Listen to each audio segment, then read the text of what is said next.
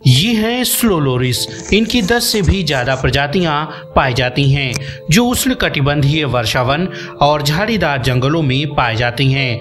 ये भारत, दक्षिण पूर्व एशिया और श्रीलंका के जंगलों में आसानी से देखे जा सकती हैं। इनका वज़न 9 से 11 औंस वहीं बंगाल के स्लोलोरिस 2 से 4 पाउंड वजनी और 10 से 15 इंच लंबे होते हैं। इनकी बड़ी बड़ी आँखों में गजब का रिफ्लेक्शन होता है। स्लोलोरिस मांस और वनस्पति दोनों खाते हैं। स्लोलोरिंस जहरीला जीव है। इनके हाथों की कोहनी के नीचे जहर भरी थैली होती है। खतरा महसूस होने पर ये उसे चाट कर जहर दांतों में लगा लेती हैं। इनका जहर इतना खतरनाक होता है कि इनके काटने से इंसान की मौत भी हो सकती है। स्लोलोरिस साल में दो बार संभोग करती हैं। मादा लोरिस एक बार में एक बच्चे को जन्म देती है।